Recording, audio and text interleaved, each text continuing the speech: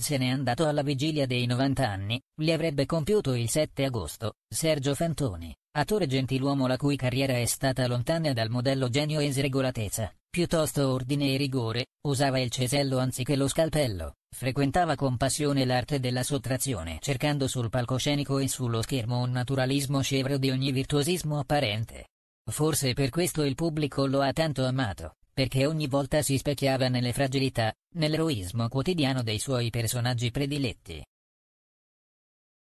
Erede di una stirpe di teatranti che lo avrebbe in realtà voluto ingegnere, dopo la gavetta in palcoscenico, approfitta dell'epoca della Hollywood sul Tevere per farsi apprezzare, imparare l'inglese, creare alternative ai personaggi stereotipati dei B-movies italiani, nel 1954 Visconti lo chiama per senso e cinque anni dopo con Nella città all'inferno di Renato Castellani comincia per Fantoni una seconda carriera nel miglior cinema italiano. Intanto a teatro pur approfondendo i classici o Shakespeare mostra sempre più curiosità per gli autori moderni, da Pirandello a Beckett, da O'Neill a Tom Stoppard.